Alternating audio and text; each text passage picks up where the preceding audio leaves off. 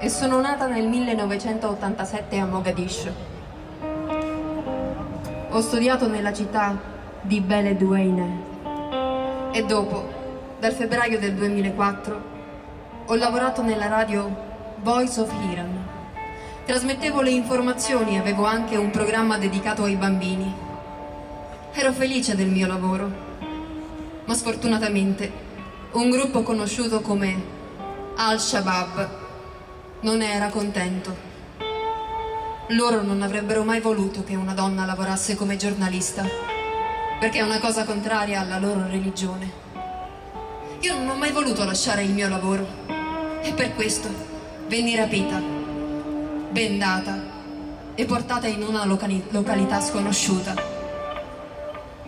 Ogni mattina mi colpivano dandomi dieci frustate promisero di uccidermi. Per provarmi che mi avrebbero ucciso, decapitarono qualcuno che era stato rapito come me e mi portarono la sua testa. Sono rimasta prigioniera due settimane. I miei genitori e i miei bambini non sapevano dov'ero. Una mattina presto, circa alle tre e mezza, scappai da una finestra. La mia vita era minacciata e così decisi di lasciare la Somalia. Andai in Kenya, Uganda, Sudan e più tardi alla fine arrivai in Libia. Lavoravo nelle pulizie. Cercai di lasciare la Libia per l'Italia nel 2010. Venni arrestata dall'esercito di Gheddafi. Quando lasciai la Somalia ero incinta e quindi venni arrestata con il mio bambino. Venni portata in un campo di detenzione e rimasi lì per otto mesi. Più tardi pagai mille dollari per essere rilasciata. Quando uscì di prigione decisi di mandare mio figlio in Somalia tramite una persona che conoscevo e che stava viaggiando. Il mio sogno di arrivare in Europa si realizzò all'alba del 17 febbraio del 2011.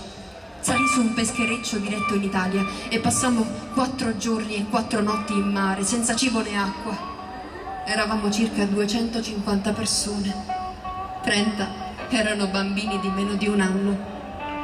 Un giorno prima di arrivare in Italia la nostra imbarcazione era abbastanza danneggiata e all'improvviso vedemmo un peschereccio italiano che avvisò la Marina Militare, la quale arrivò immediatamente con tre navi per soccorrerci. Restammo tre giorni a Lampedusa e poi fummo trasferiti in Sicilia, a Caratoni. Restammo a Caratoni 30 giorni. Poi venimmo trasferiti a Racconigi, vicino Torino.